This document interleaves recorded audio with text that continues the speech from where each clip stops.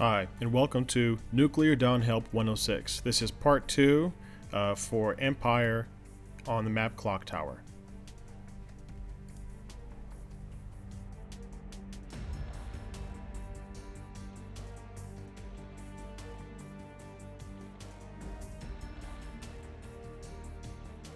Alright, we are Empire.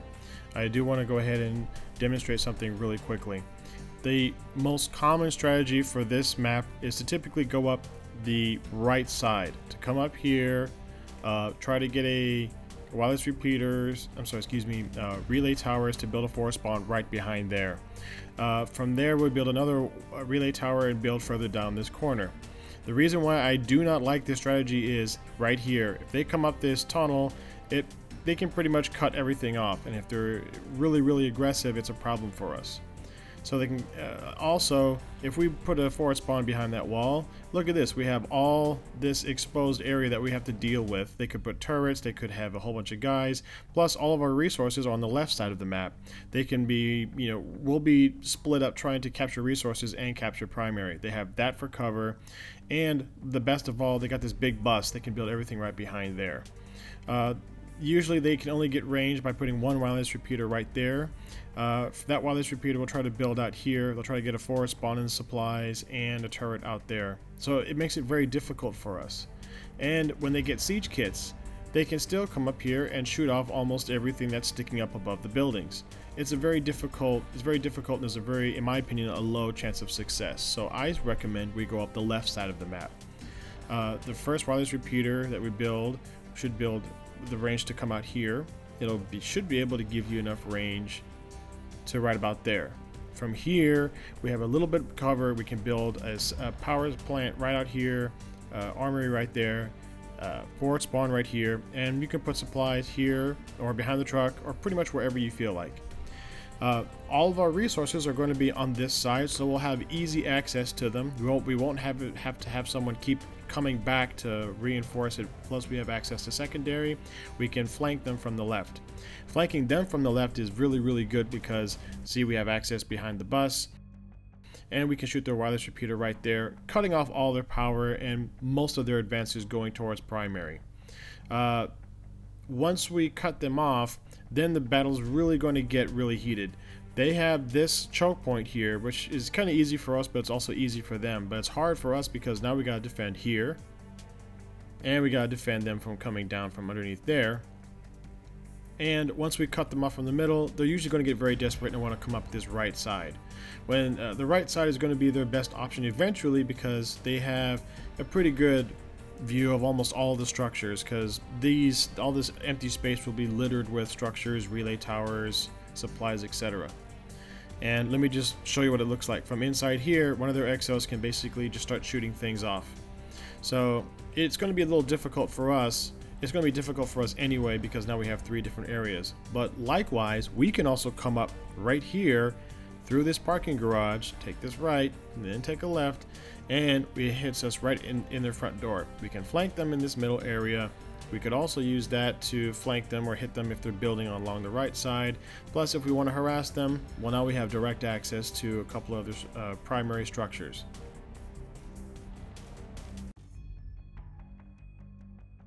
This can allow us to come from behind and as you can see right here, they can put a wireless repeater right in that corner and it'll actually give them just enough range to build some turrets and things to continue to harass us. So again, uh, we can build up the middle if we want. It's a little difficult, but if we are able to build it, we can build some relay towers right there. Uh, then we can try to build up the this left side here. It, the left side is a little difficult to defend because there's so much space, but we get a direct shot for power plants and their assembler. Of course, this side will, will have to be, in fact, uh, defended, but um, event another area that we will have to reinforce is this entire right hallway. The right hallway is going to be, once we take the middle, the right hallway is going to be our big weakness. Building down the right hallway is difficult because they can shoot anything from all the way back here. So the right hallway is a little difficult to take, but if we're quick, which Empire is building, is capable of building very quickly, we should be able to get right up here, right in their face, right at their front door.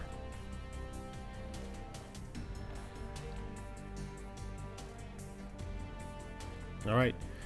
So we are selected to be commander. We hop into the bunker, we hit E, and we go into RTS mode. First thing we do, select the assembler, build that first wireless repeater. Excuse me, that first relay tower.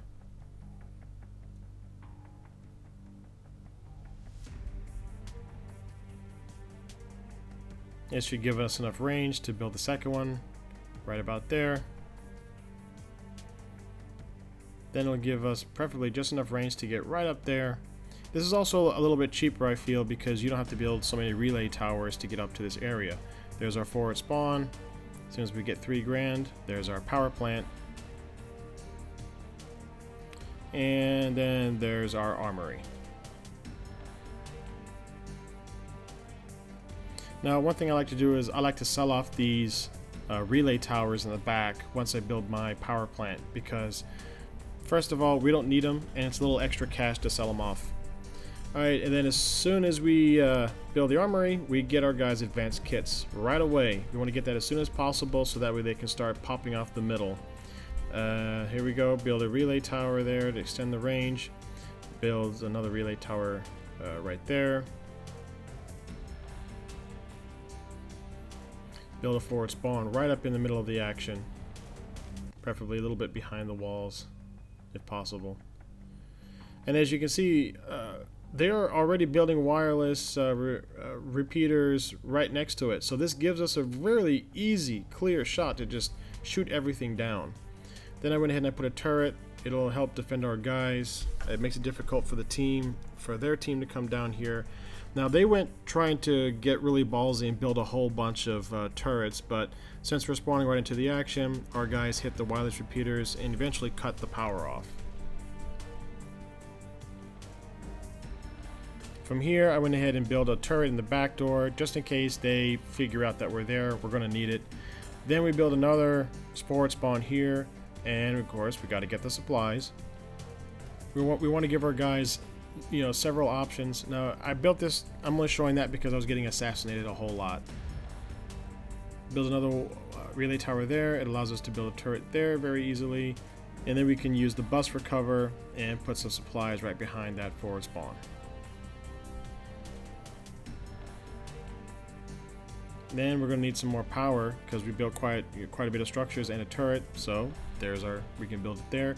Now we can go ahead and reinforce primary, which will be quickly fairly easily.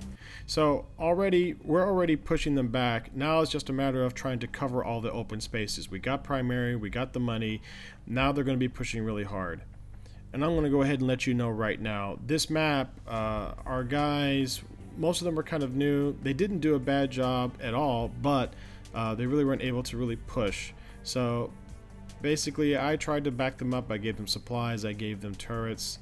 But uh, the other team actually was really good. They were did a really, really good job at defending and not letting us push up the right or the center.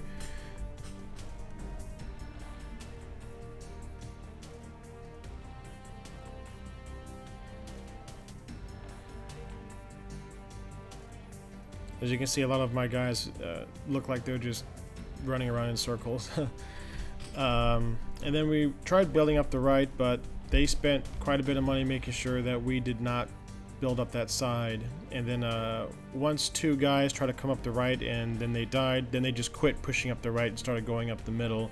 Then we lost all the structures on the right hallway. So uh, it wasn't a very good push. Eventually we did started to make a little bit of headway in the middle uh, you know, by putting a couple flame turrets inside there, but you know, it really wasn't all that. Uh, we did, we weren't able to pull off the victory, but this is the strategy. I feel like it works a lot better than going up the right side of the map or uh, uh up the center. Well, like, subscribe, leave me your feedback. Tell me what you think about this strategy. Thank you.